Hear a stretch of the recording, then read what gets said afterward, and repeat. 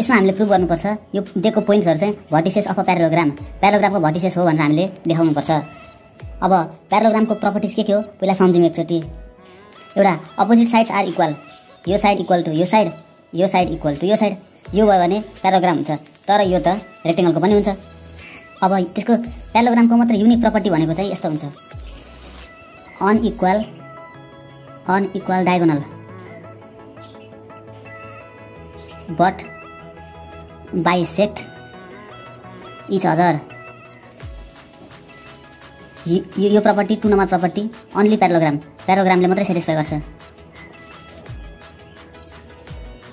खासमा यसले गर्दा पनि राइट हुनसक्छ तर यसले गर्दा चाहिँ कन्फर्म राइट हुन्छ। अब अब एबिसिडीलाई नाम दिउँ।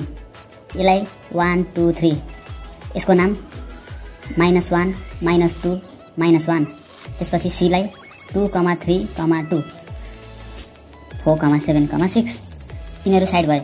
अब यो भर्टिसेसलाई हामी डिस्टेन्स फर्मुला युज गरौँ। Using distance formula. अब यो डायगोनलको लेन्थ निकालौँ। एसीको length AC equals to under root.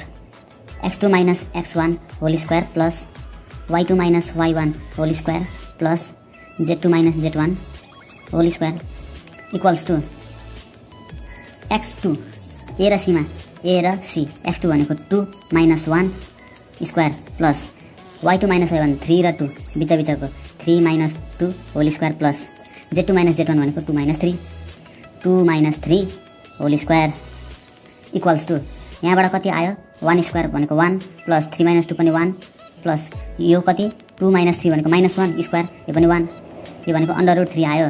अब B BD BD equals to यसमा पनि distance formula हालिदिउँ. X two minus X one whole square plus Y two minus Y one whole square plus Z two minus Z one whole square equals to B र डीमा यो X one Y one Z one X two Y two Z two X two भनेको four minus minus one square plus Y two seven minus minus two square plus Z two भनेको six minus minus one square equals to four plus one five square seven plus two nine square six plus one seven square equals to यो भनेको under root twenty five plus eighty one plus forty nine यो भनेको under root hundred fifty five अब so diagonals AC and BD यो भनेको बिचको diagonal हो? Diagonals are not equal त्यो भयो। अनइक्वल डायगोनल्स अब चाहियो हामीलाई bisect each other bisect each other थाहा पाउनको लागि यो पोइन्टलाई लेट गरौँ हामी एक्स वाइ जेड अब X equals to for diagonal कुन डायगोनलको लागि? एसीको लागि। एसी एक्स इक्वल्स टु कति हुन्छ अब यसको एक्स हामी एक्स जेड एकैचोटि निकालिदिउँ।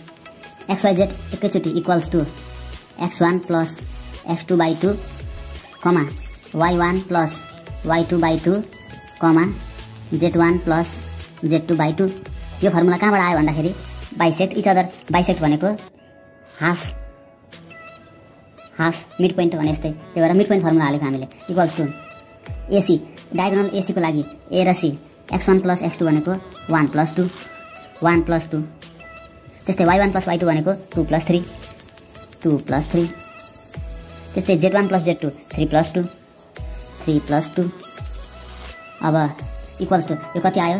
थ्री बाई टू यो कति आयो? फाइभ बाई टू यो कति आयो? यो पनि five by two X Y Z यति आयो। अब फर डायगोनल अर्को डायगोनलको लागि। फर डायगोनल बिडी बिडी बिडीको लागि पनि हामीलाई एक्स वाइ जेड चाहिन्छ। X Y Z equals to हामी फर्मुला त्यही युज गर्छौँ X one plus X two by two formula त्यही तर इलिमेन्ट अलग अलग यसपालि किनभने अर्कै डायगोनलको यो अर्कै डायगोनलको यो अर्कै डायगोनलको अब यहाँनिर दिएको छ बी र डी यो दुईवटा पोइन्टको X one plus X two भनेको फोर प्लस एक्स टू भनेको माइनस वान मानिदिउँ डिभाइड बाई टू त्यसपछि Y one plus Y two भनेको एउटालाई वाइ वान एउटालाई वाइ टू मानिदिउँ यसलाई सेभेन वाइ टू भनेको माइनस टू मानिदिउँ ल। त्यस्तै Z one plus Z two यसलाई जेड वान मानिदिउँ सिक्स प्लस जेड टू भनेको यो minus one minus one equals to four minus one three comma seven minus two five six minus one पनि five अब x Y Z यति नै आयो भनेपछि so the diagonals are bisected equally भनेपछि thus it is a parallelogram it is a parallelogram यो parallelogram भएपछि के हुन्छ त यो पोइन्ट आधा भटिसेछ प्यारोग्राम अब एबिसिडी भनेको यिनीहरूको पोइन्टको नाम are vertices of parallelogram it is a vertices of parallelogram हामीलाई त्यही भटिसेस अफ प्यालोग्राम प्रुभ गर्नु भनेको थियो। अब यसरी प्रुभ गर्दा पनि हुन्छ। Opposite sides opposite sides are equal त्यो देखाएर प्रुभ गर्दा पनि हुन्छ। हामीले यो प्रपर्टी किन युज गरेको भन्दाखेरि किनभने यो भनेको प्यालोग्राममा मात्रै सपोर्ट गर्छ अरूलाई सपोर्ट गर्दैन। र हामीले अरू मेथड युज नगरी किन यो मेथडले सल्भ गरेको भन्दाखेरि भन्दाखेरि सबै रेक्टेङ्गल प्यारोग्राम हो तर सबै प्यारोग्राम रेक्टेङ्गल होइन। त्यही भएर हामीले प्यारोग्राम इन्डिपेन्डेन्टली प्रुभ गर्नुपर्छ। Thank you and bye bye